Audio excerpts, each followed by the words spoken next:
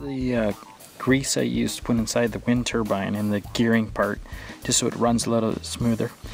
It's all-weather uh, white grease. Kind of looks like lard in a way.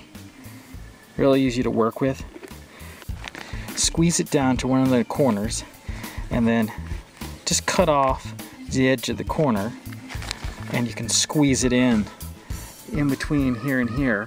I could pull the, the plate apart just by maybe an eighth or a quarter of an inch. Just, and then I took the one of the edge of the Ziploc bags with the cut in it and squeeze it down inside. So it's sort of like uh, how the, uh, the, cake decorators use uh, when they're decorating cakes, but you just squeeze it in through the cracks. It works quite well. So when you spin the turbine, it's it's much quieter. It's not as much whining.